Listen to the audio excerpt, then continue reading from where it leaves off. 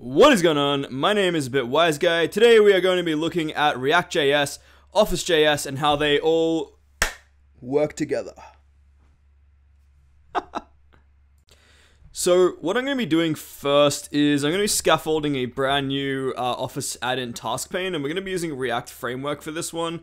Um, so if you haven't done that, just go ahead and quickly scaffold a new project. Um, and I will cut all this out, all of the actual downloading of the dependencies, um, and we'll be right back once this is completed.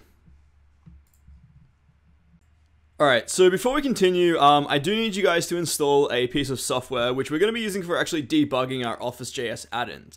Without this piece of software, debugging is exceptionally tedious. Uh, it's like pulling nails out of your eye that you already stuck into, which I don't know why you did that, but you know, it's pretty much like that. So what you need to do is open up the Microsoft Store and head over to um, here, and I want you to search for the Microsoft Edge DevTools. And you're going to choose the Microsoft Edge DevTools preview, and I've already got this installed, but essentially you're just going to install it from here. Um, and we're gonna we're gonna be using this extensively throughout the tutorial series. We don't need it right this second, but um, please do have it installed while you're following along. Alright, so basically let's just have a look at our imports first. So the first thing that I want you to notice is that um, Office.js add-ins by default with the React.js framework, uh, and I do believe even the AngularJS framework as well, uh, uses the Office UI Fabric React. If you don't know what the Office UI Fabric for React is, uh, although obviously the it's not going to be using that for Angular, but I do believe it uses some version of Office UI Fabric. Uh, I will be placing a link in the description below as to the documentation on Microsoft's website um, for what that actually is. But essentially, it is Microsoft's design framework. The next thing that we are importing is the application itself. Um, this will make a little bit more sense as to why it's not in here straight away uh, later on. But the next thing we're going to be looking at, and these two are directly related, is the app container and the app. Um, so we're using RHL, which is React Hot Loader. If you haven't used React Hot Loader before, I don't. I will put a link in the description for what React Hot Loader is. Um, but it essentially allows us to uh, recompile our code on change so that we don't have to restart the whole dev server and all of that stuff. Um, so the app container itself is just a React.js uh, component, um, and it and it's simply hosting the application itself, so that when we make changes to the application, uh, it gets reloaded without having to reload the dev server. Uh, the next thing that we have is the icons. So the React, uh, sorry, the Office UI fabric for React comes with a bunch of icons. Um, these have to be initialized as they come from a CDN. Um, this actually takes a, uh, a, custom parameter if you wanted to host the uh, icons yourself. You can actually pass uh, the CDN for that style sheet into there yourself. Uh, the next two things are just React and React DOM. If you haven't used those before, uh, this is not a React.js specific tutorial. Um, so I'd recommend checking out the hundreds of other really great videos on React.js just to kind of understand what that is. Um, so the next thing that we have to understand is this thing, and this this is a massive gotcha for beginners and advanced developers uh, in the React.js world alike.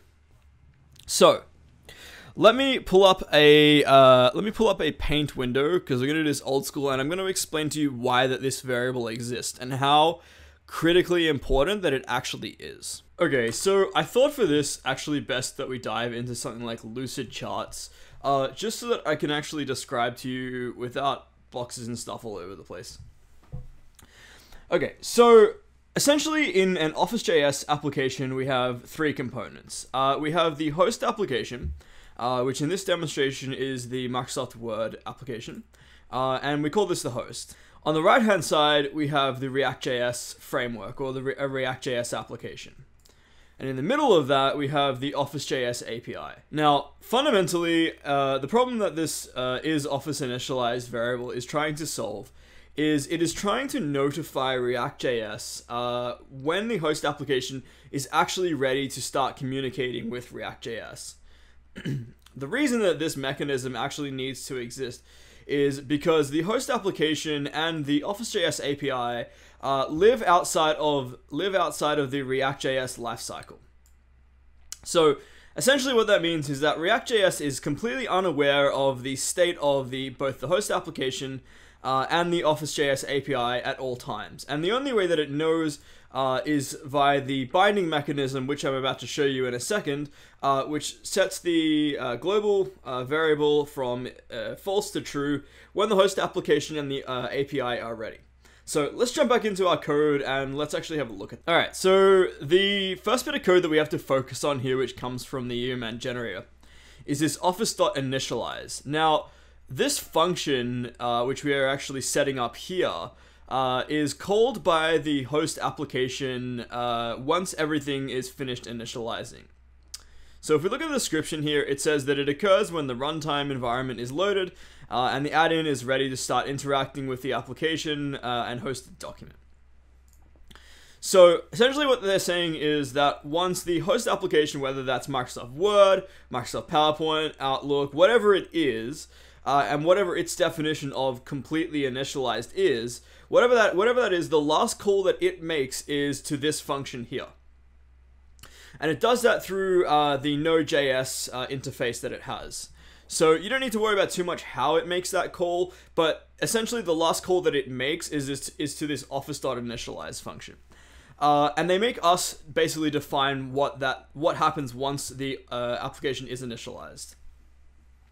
So the normal thing to do in that case is since we are using a React.js application, uh, and we want to know, we want to be for sure uh, certain that, for example, when our component mounts and does something that has side effects, say it grabs some text from uh, the document or you know it does a lookup on the currently logged in user in outlook or whatever it is that it, it might be doing uh, it, it, has to be certain that uh, those values actually exist and this is the standard mechanism for doing that. So we so we say the callback is this. Uh, we said is office initialized true, and then we call this render function. So what is this render function? Well, this render function is defined up here, uh, and it takes a parameter of component. Um, it shoves it inside of our uh, React Hotload app container. Uh, it then actually renders our component with a title, which is used uh, later on down in the JSX tree. Um, and it passes in this is office initialized. Now, this is where we start merging uh, the lifecycle methods and state of React.js with this kind of asynchronous um, global is it loaded, is it not loaded, you know, problematic system that they have.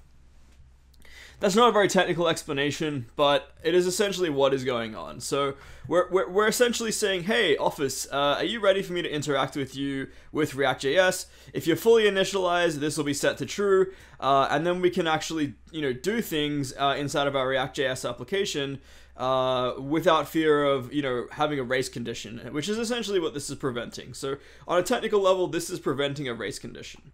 In the next video, we are going to be looking at the context object. Uh, the context object is kind of the beating heart of the Office.js API.